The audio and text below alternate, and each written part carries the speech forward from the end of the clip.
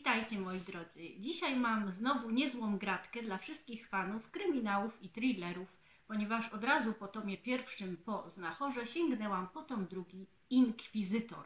Michał Śmielak, jak mówiłam Wam wcześniej, zadebiu zadebiutował tą y, powieścią Znachor i to jest właśnie część druga, tom drugi. Y, kto skończył tą książkę pierwszą, to wie jak się kończy, więc ja nie mogę nic więcej powiedzieć, żeby nie spoilerować, ale opowiem Wam, oczywiście należy je czytać po kolei o tym tomie drugim. Jak zaczyna się ta cała książka? No więc zaczyna się od znowu okropnej egzekucji. Tym razem ma ona miejsce y, w takiej malowniczej, bieszczackiej wsi, y, którą z pewnością kojarzycie z nazwy, mianowicie Ustrzyki. I w tych Ustrzykach dowiadujemy się, że nasz seryjny morderca, zwany inkwizytorem z pierwszego tomu, obiera sobie za cel tym razem księdza. Y, ta parafia, jedyna, w ogóle jedyny kościółek, jest na tyle daleko położony od wszelkich domostw i akcja dzieje się w nocy, że nikt niestety no, tego księdza nie słyszy. I ten nasz inkwizytor oczywiście dokładnie przebadał żywot tego człowieka, wie już jakie on grzechy w sobie nosi i przed dokonaniem egzekucji, znowu rodem taki, wiecie, metodą ze średniowiecza, y, przekazuje mu, dlaczego właśnie zamierza go uśmiercić. No i ten ksiądz, jak się dowiadujemy, y, znalazł kiedyś w jakiejś tajemniczej skrzyni na strychu srebrne medaliki. Wymyślił historię ich pochodzenia, wymyślił, że mają magiczne właściwości i po cenie znacznie przewyższającej ich faktyczną wartość zaczął je sprzedawać.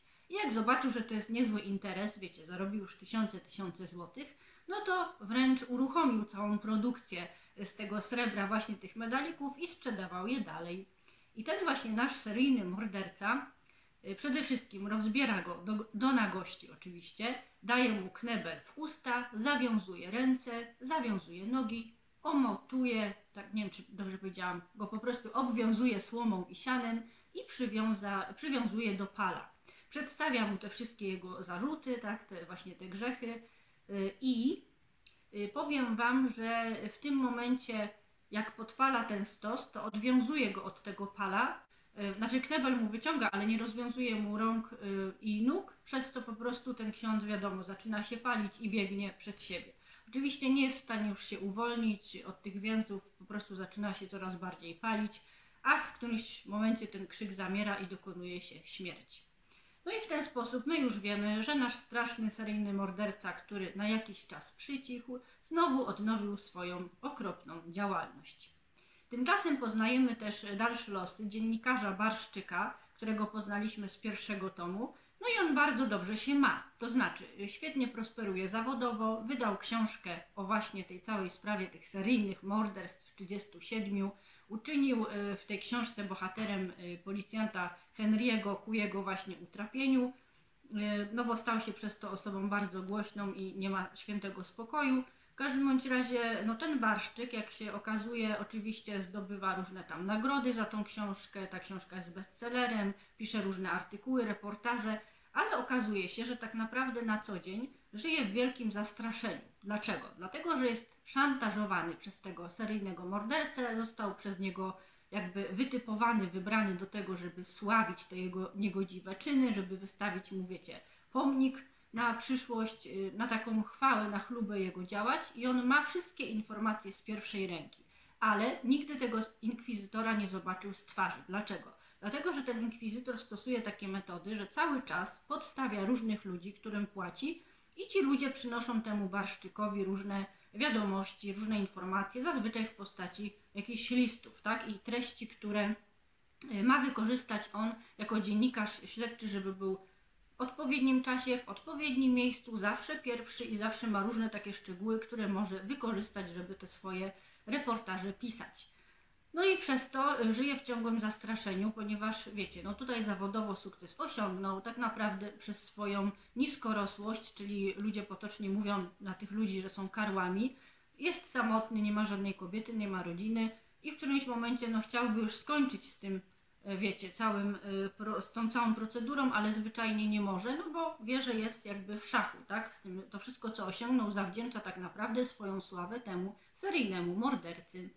Tymczasem, jak jeszcze, wiecie, wieść o tym spaleniu księdza, o tej strasznej zbrodni nie dociera na całą Polskę, y, no to poznajemy też, że jest lato Wiemy, że nasz Krzysztof Szorca, więc ten student historii z pierwszego tomu, a także y, policjant Henry, że bardzo się ze sobą zaprzyjaźnili i spędzają razem sobie urlop całkiem spokojnie. Ale niestety właśnie w czasie tego urlopu zjawia się y, do właśnie w ich daczy, w ich willi, gdzie wypoczywają, zjawia się strasznie rozentuzjazmowany, strasznie przerażony człowiek, Jan Sarna.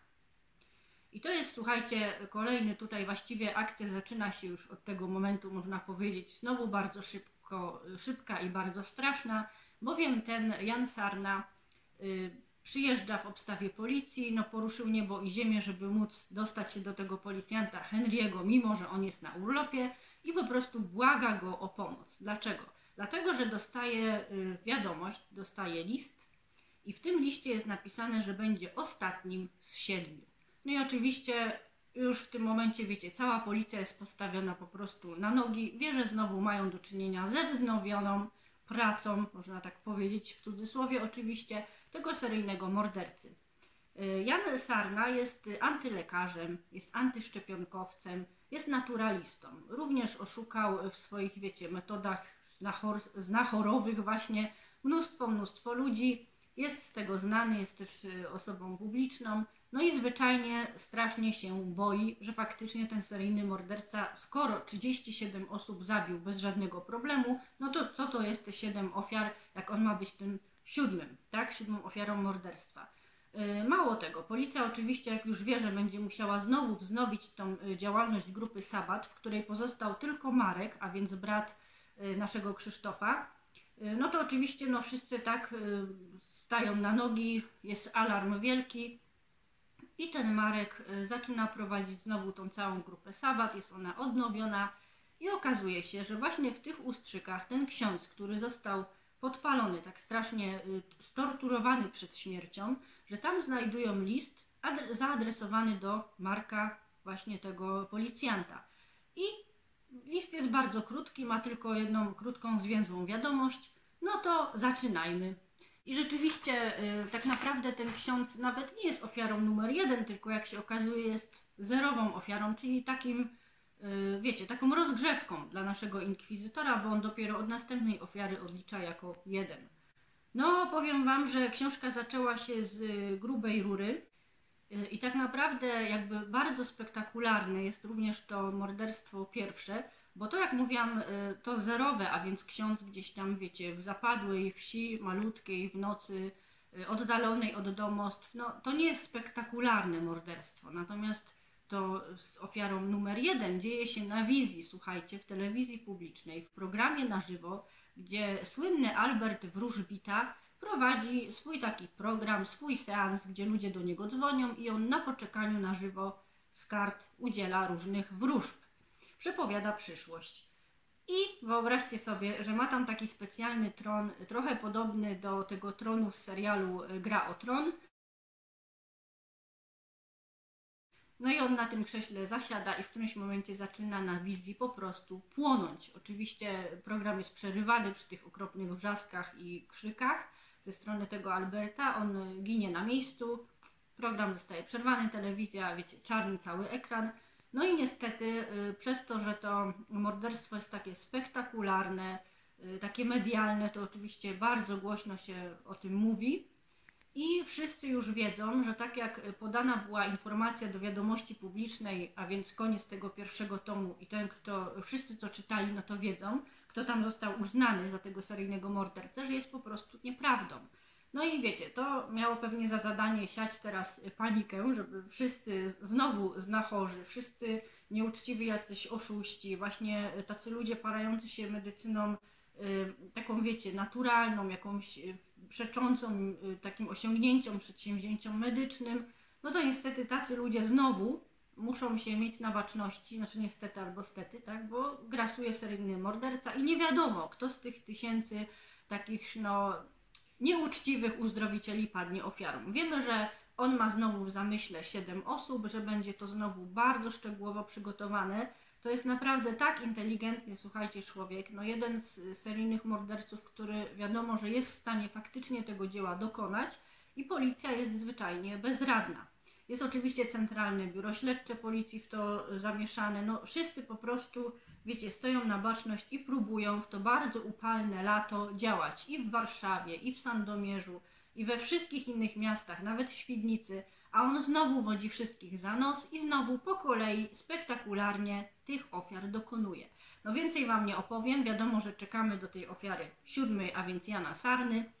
Czy znowu im ucieknie, czy się uda, czy się nie uda, wszystko Wam pozostawiam, ale książka.